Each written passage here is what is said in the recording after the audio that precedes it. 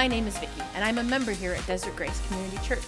We have a great message for you today, and if you've enjoyed this video, be sure to give us a thumbs up and leave a comment so we can know you've been blessed. Have a good day. Good morning, everyone. I don't look much like Pastor. Happy Mother's Day. Happy Mother's Day.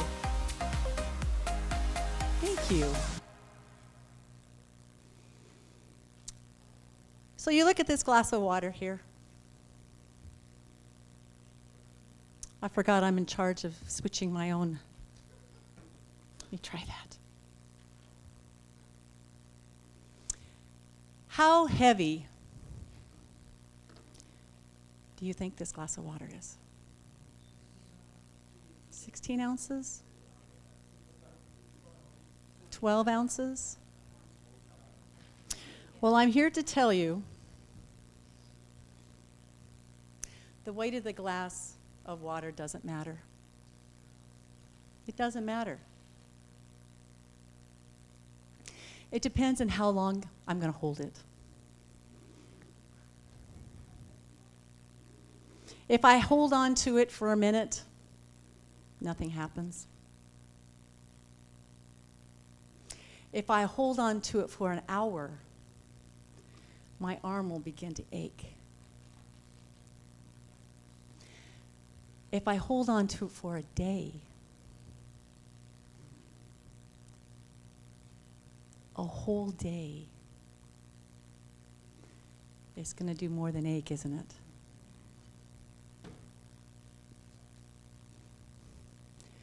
My arm will become numb and it will be paralyzed. The longer I hold on to it, the heavier it seems to be.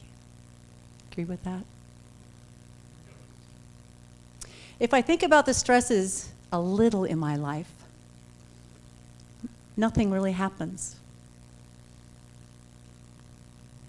If I think that I, if I think about the stresses in life a little longer, what happens? My heart will begin to hurt. If I think about the stresses in my life all day long, I will become numb and paralyzed.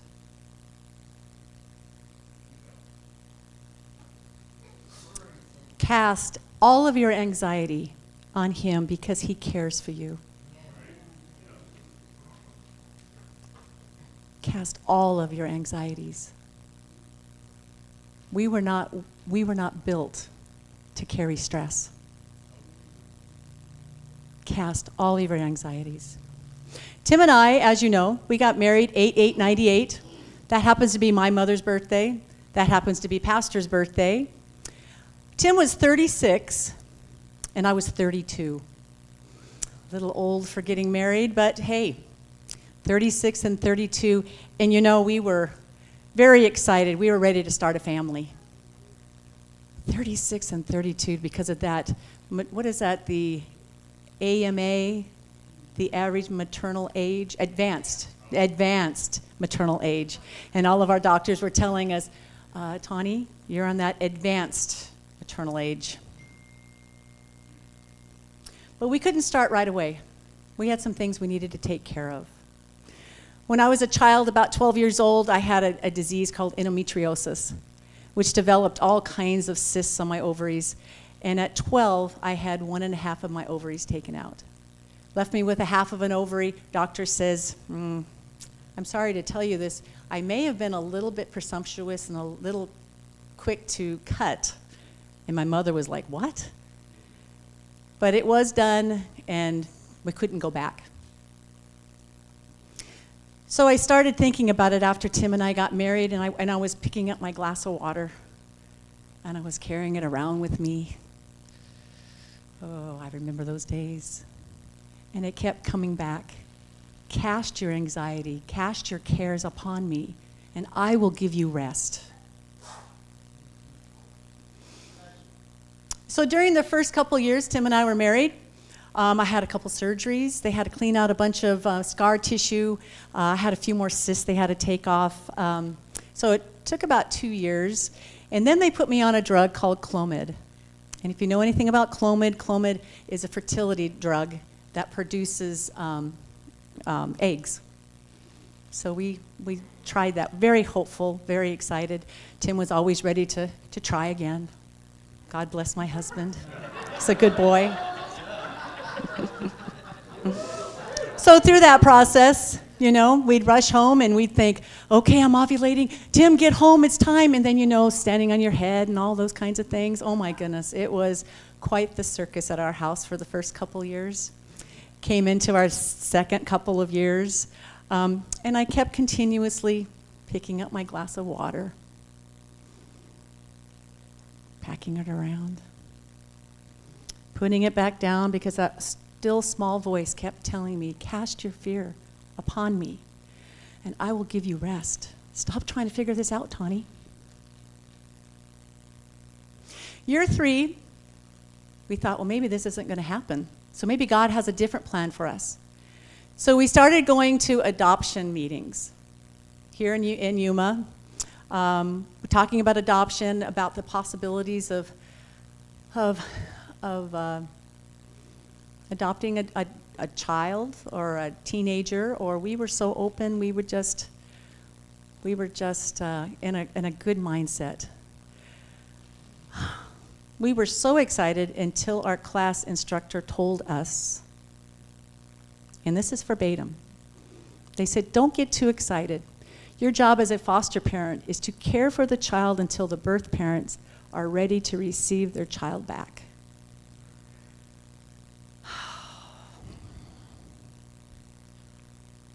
Picked it up again, walked around.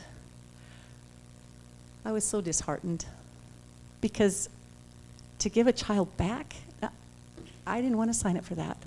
I wanted, I wanted the child, I wanted to love, I wanted to, I wanted, I wanted, I wanted.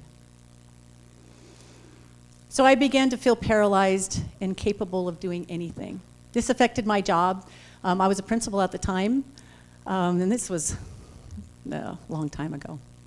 And I decided, well, maybe, maybe I should go back to teaching. I'll go back to teaching, less stress, less stress, and maybe we can do what Dr. Vining told us to do. Well, he didn't tell me to cast, but God did. He said, cast all of your anxiety on him. That verse just kept coming back and coming back and coming back. And so, year four, Dr. Vining, which is my gynecologist here, he's since retired. What a wonderful man. He says, Well, why don't we try in vitro fertilization, better known as IVF? And if you don't know anything about IVF, it's a test tube baby. And I remember back in 1983, I was in high school reading the Enquirer magazine. Yes, my mother did not miss a week. We, and I saw on the front, it was test tube baby and I was like, oh, that's so hocus pocus. That's, got, that's not real. It is real. It was real. And that was back in 1983. So they put me on some medication. Um, the doctor that he provide, uh, suggested to me was in Tucson. So Tim and I went back and forth to Tucson, and they put me on a drug called Pergonal. If you know anything about Pergonal, it massively increases egg production. Women usually produce one egg a month.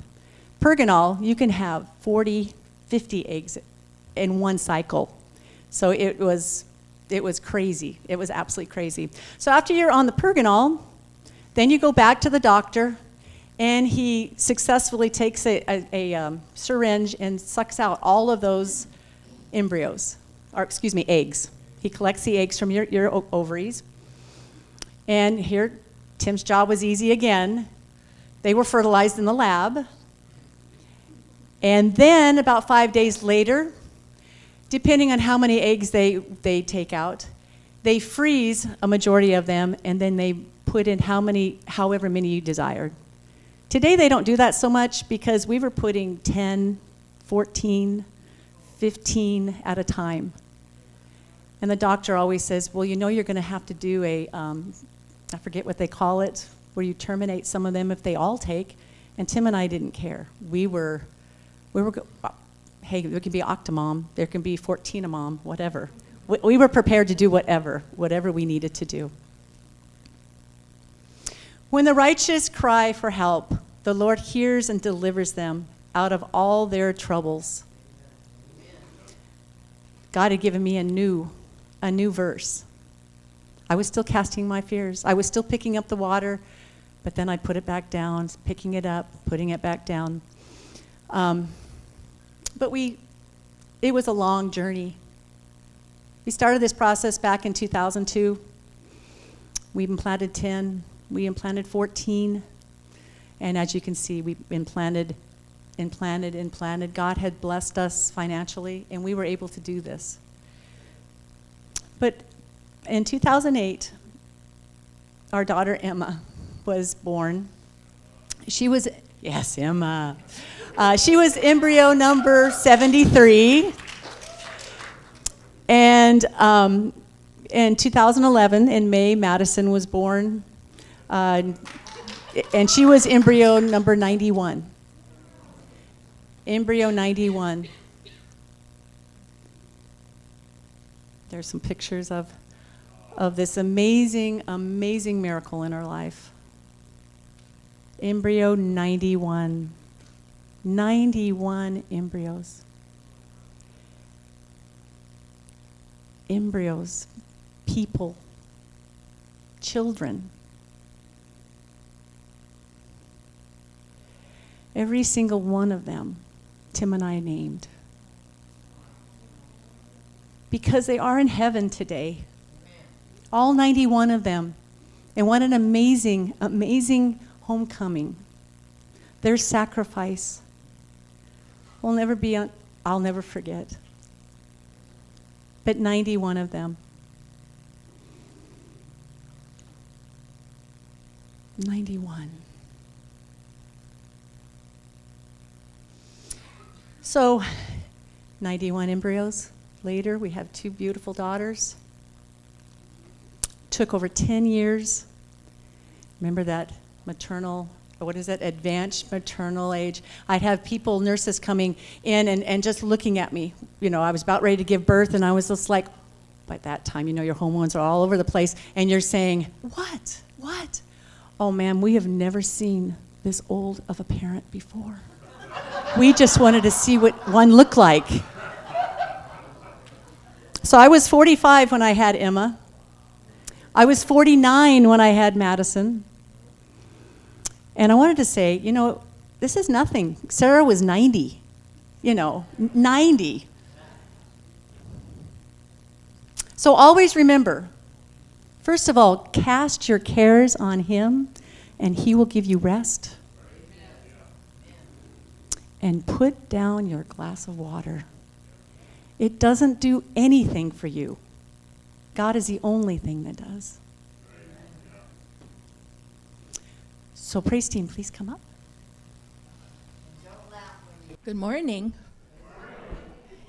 Happy Mother's Day out there to all the beautiful women. I need my, my Desert Grace kits. Woohoo! All right. Okay. Oh, haha. In my bag of tricks, I have, let me show you. I have, all right, so let me get it out. It's in here somewhere. Buried it. I have an awesome bowl. Tap it. Tap it. Tap it. It's a good bowl. It is about the right size for just about everything. There's slosh room for soup. It can pop some uh, ice cream in here with hot fudge, popcorn. This is a good bowl. However, if you take this bowl and you hit it with a hammer, what do you think is going to happen, ladies and gentlemen?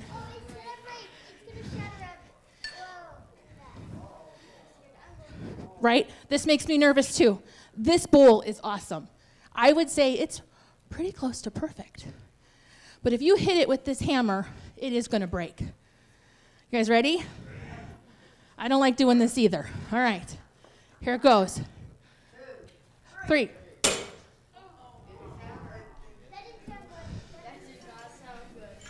Uh oh. Be careful because now some of the pieces are falling out. which is what I was trying not to do. All right, everyone take a peek in the bag. Careful, careful. What happened to that glass bowl? It's don't let don't touch. I want you to get cut. It's broken. My perfect bowl shattered. Do you guys know that there is this type of artwork in Japan where they take shattered bowls and they put it back together? And it turns it into a bowl that's even more beautiful, even more perfect than when it started. It's called, I don't speak Japanese, I don't want to trash it. So that's what it's called.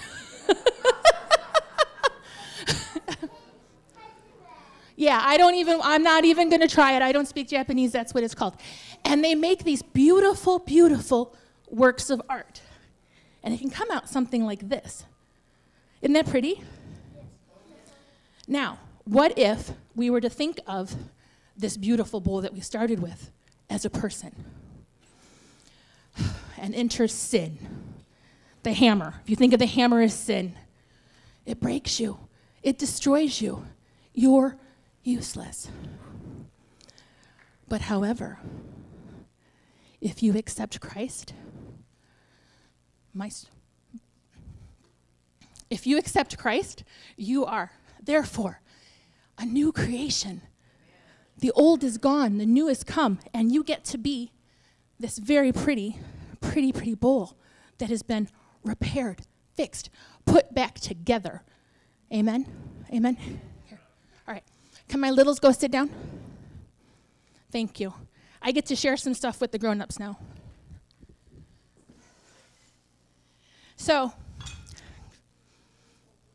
Pastor asked for us to kind of give our testimony about what it means to be a mother.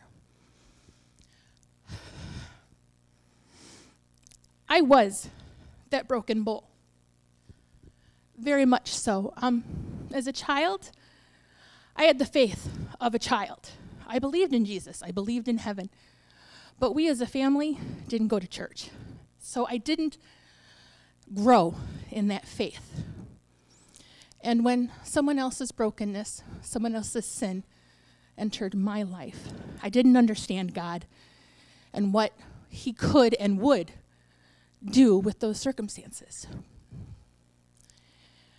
And I became very, very angry and set about showing God just how angry I was. And in that anger, I sinned. Things I don't normally talk about that if you don't know me, you may not even be aware of, because I'm not that person anymore. I am a brand new creation.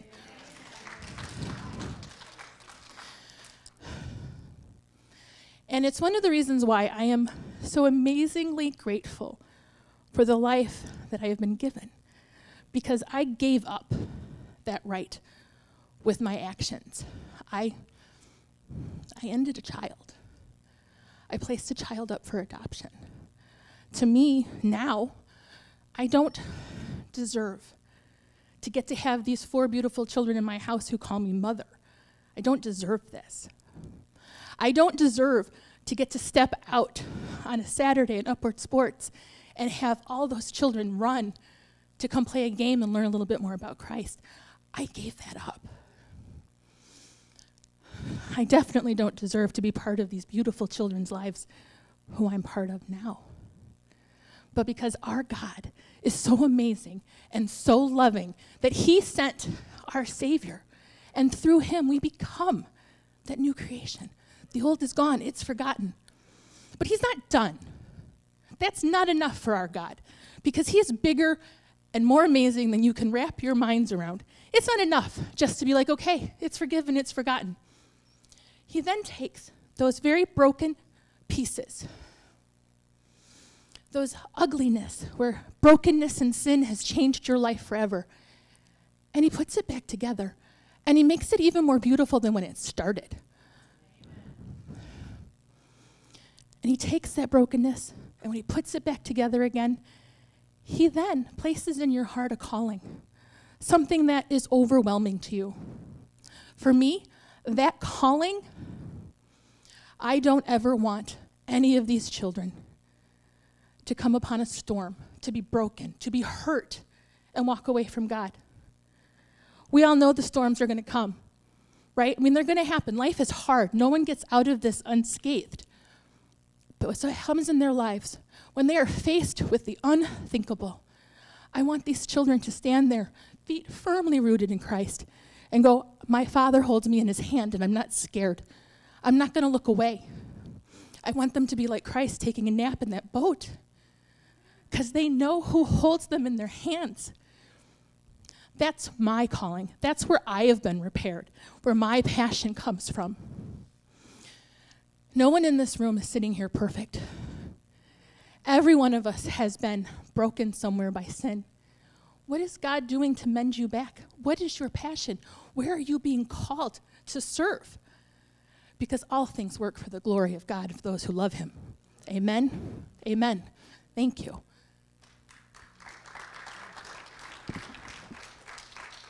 Oh, Taune, thank you so much. Vicki, thank you. Thank you.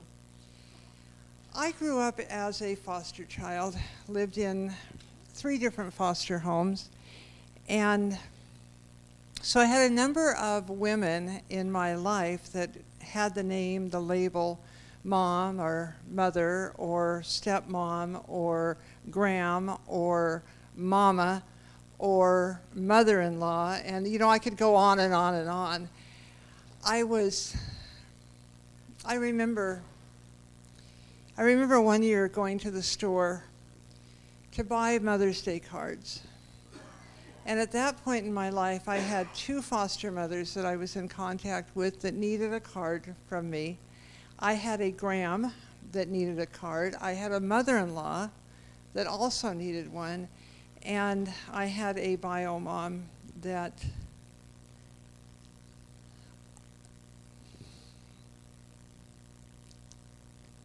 that I needed to send her one. I don't know that she needed one, but I needed to send it to her. I was placed in the uh, first foster home when I was a baby. Lived there for until I was 10. The foster father was ill and couldn't um, I couldn't live there any longer, so I was placed in a second home. That home was actually related to the first one and actually had siblings. So I had two sisters that were close to my age. That's, that's kind of a good thing, right? That's kind of a good thing. It's also a challenging thing because the one, the one daughter, which happened to be their daughter, was two months older than me. And I was sure she was loved more than me. Now, the next one was a year younger than me, and we were loved about the same, so I was kind of okay with that, but I was always jealous of that first one. And we did not get along as siblings at all. The, uh, the other daughter was um, a few years younger than me, and then the little boy was just uh, newborn. And I wasn't a very nice daughter. You know, when you're jealous of someone, when you don't think that somebody loves you, you react. And you react like, you react out of not feeling loved, even though they tried their best to love me. I can, as an adult, I can look back and I can see that they did, but at that time I didn't feel like I was loved. And so I reacted, and I particularly reacted to the mom. In fact, so much so that I ran away left that home, went back to the first foster home. She would love to have had me stay there, but the rules with foster care is you can't, at that time in Oregon, you could not go back to the original home. And so I was placed in a third one. Stayed there for about a year and then moved on to a religious boarding school that didn't work real well either. And I decided that I really wanted a family. It was what my heart longed for, was to be part of a family. So let's go start your own. That's not a wise thing to do, by the way. That is not a wise thing to do. The only good that came out of it was my son. And I look back at his growing up and I wonder if I was the best mom that he could have had. I'm thankful that I had him. I'm thankful that I didn't um, have to give him up. But I don't know that I was really the best. I mean, when you're 17, 18 years old, that's a tough time to be a mama because you're still a kid yourself. And during this time, you know, you know, God, God works in the most amazing ways in our life. Every one of you would be able to tell a story of when you know that God was moving in your life. Didn't recognize it at the time, but you can look back and see that he was drawing. And he put me in contact again with that second foster family. And they took me back as their child. I was probably 18 at the time, so I didn't end up living with them again, but I was every bit a part of their family. You know, the Word of God says that God puts the lonely, He puts the solitary in families. And He put me in that family. I had a family. The one sister in that, in that family calls me her double sister because I am a part of her family. In fact, when mom passed away, I was every bit as much her daughter as any of those other children that she gave birth to. But why the double sister? Partly because I'm in her family, and partly because we both are in the family of God. She literally prayed me into the kingdom of God. If you are praying for someone that you want to receive Jesus, receive salvation, don't give up. No matter how long it takes, do not give up. Continue to pray because God is at work. Our God is faithful. He's at work behind the scenes. And He will answer those prayers.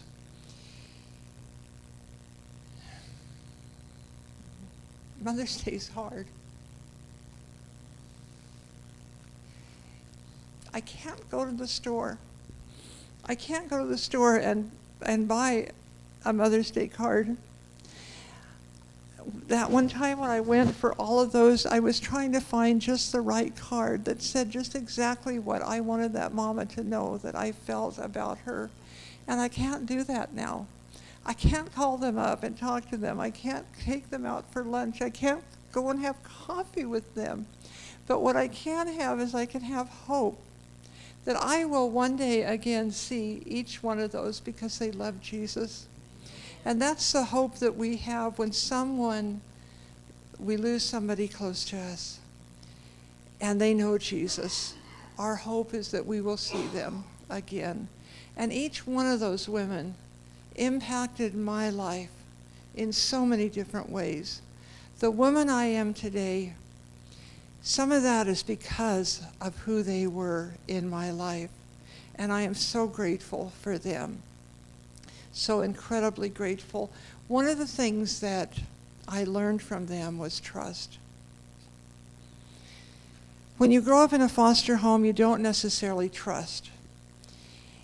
But they encouraged me to trust God. God continues to work that in me, to trust Him, because it's something that we all need to do. And there are times when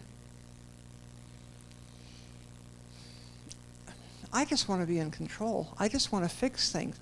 My kids go through stuff, and I want to fix it and, and take care of it. My granddaughter has to have a new heart and a new kidney, and I want to get in there and somehow fix it.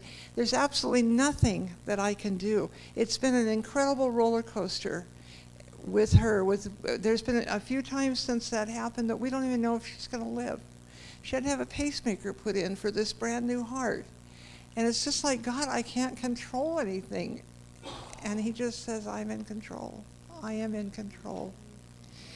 You know, so often I think moms, parents, you know what, actually just people. People want to control things. We want to fix things.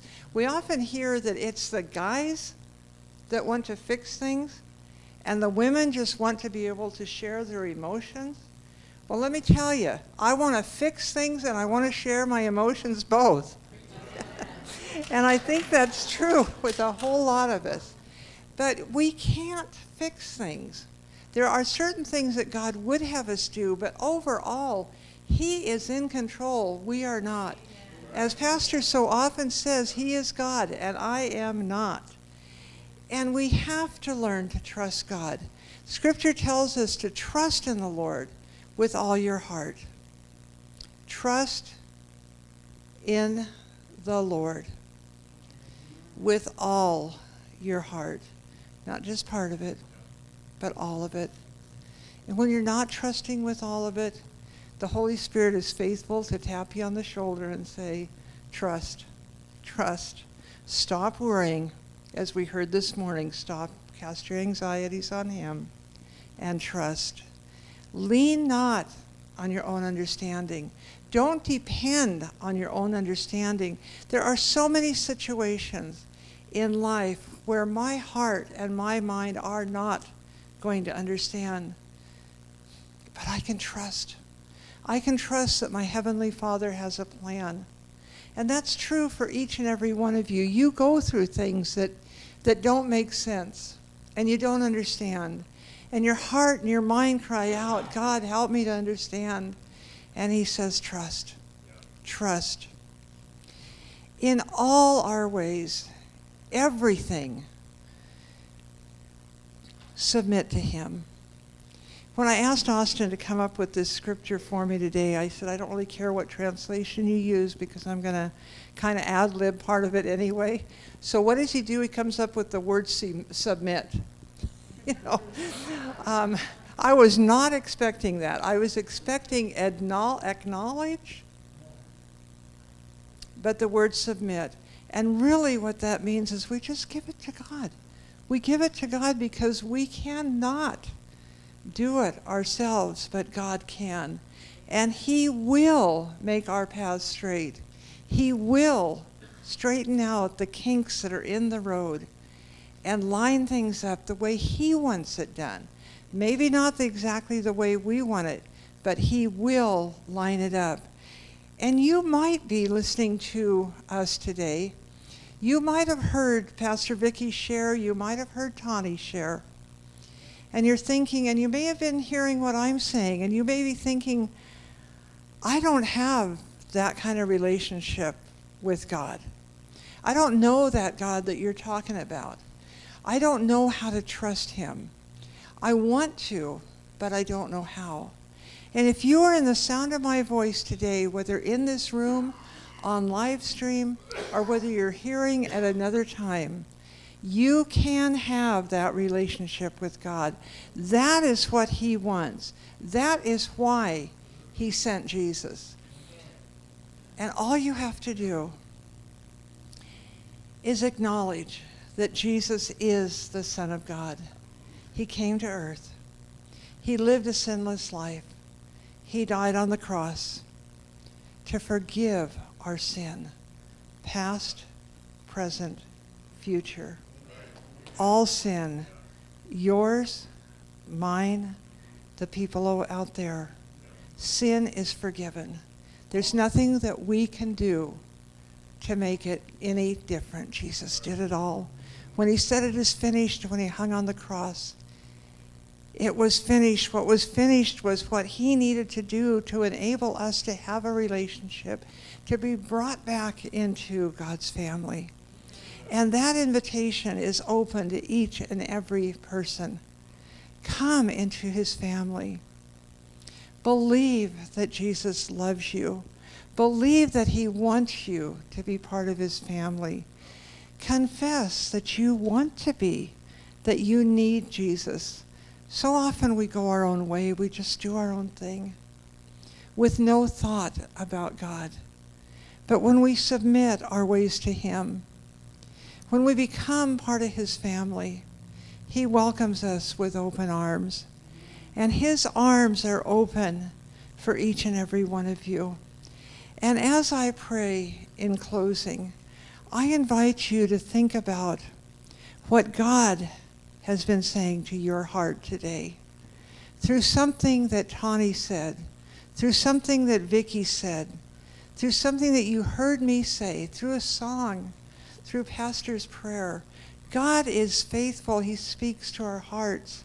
And I can say that I know for sure, because my God is faithful, that He has spoken to your heart. Tune in to what He's saying to you. Let us pray. Heavenly Father, thank you so much for loving us. Thank you so much for opening your heart, opening your arms, forgiving us, drawing us into your family. No matter what we have gone through, no matter what we've done, you love us. And you call us and you draw us close to you. I thank you for that. Minister, Lord God, to each person today where you want to minister to them in Jesus' name and always, always for your glory. Amen. Thanks for watching this message with me.